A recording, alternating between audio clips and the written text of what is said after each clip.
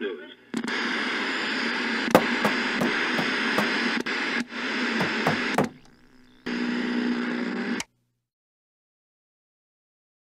What made you want to start rapping, bro?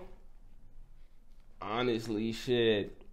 Like the, I'm just not trying to work no nine to five for the rest of my life. I need me some some real money in my life, and you know, and I started making music, and uh, people told me I was real good at it, and I like I had I had a gift, so I know you know I'm trying to take it somewhere and actually do something with it, because I'm not just trying to put it to waste. For sure, man. That was actually one of my questions on here is if you had a nine to five. Of course. Yeah, I'm not making nothing from this music shit right now. I'm literally just doing it for fun, hoping something happens from it. Be So- like that.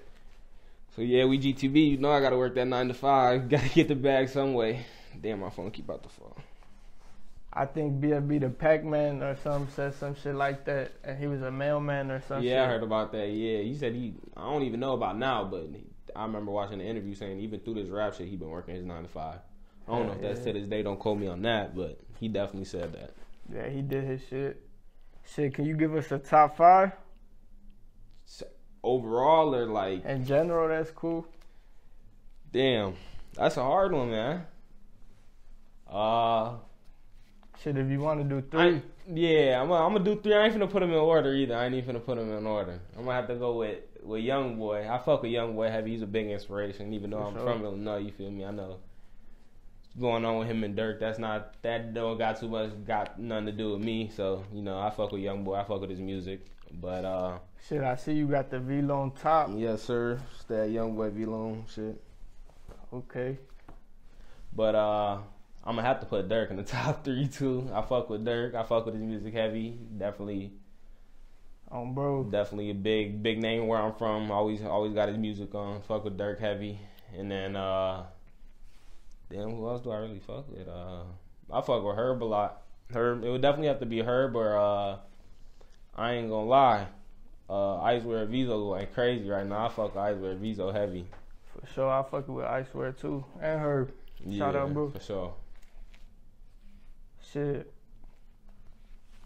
Any artists you want to work with, bro? Bro, honestly, I love to do a song with Big Kay Beezy. I've I watched him blowing up. I watched.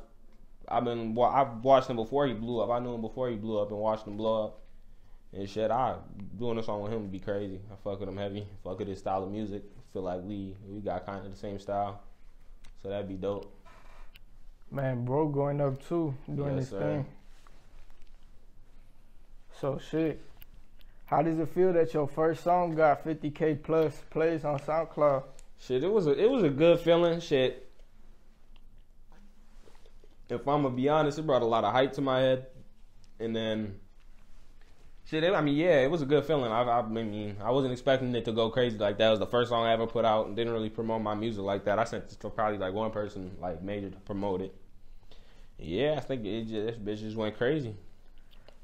Um, bro, for those who don't know, the music video is out now. It's called Rush. GTB sir. Justoo. Check that out on my YouTube channel. The the video is on uh MOV, his channel. Yeah, we'll drop the link to your yes, shit sir, too. most definitely. Go fuck with the video. What up, y'all? LuiTV. Appreciate y'all for watching. Like, subscribe, comment who y'all want to see next. Stay tuned for who we got next. LuiTV on Yo TV. We out. Bullets be hot like ham. Put the text on like Uncle Sam. Yeah, it's my favorite little bomb. I love what she do for me. Traffic, I pass her the Glock. I know she gon' shoot for me.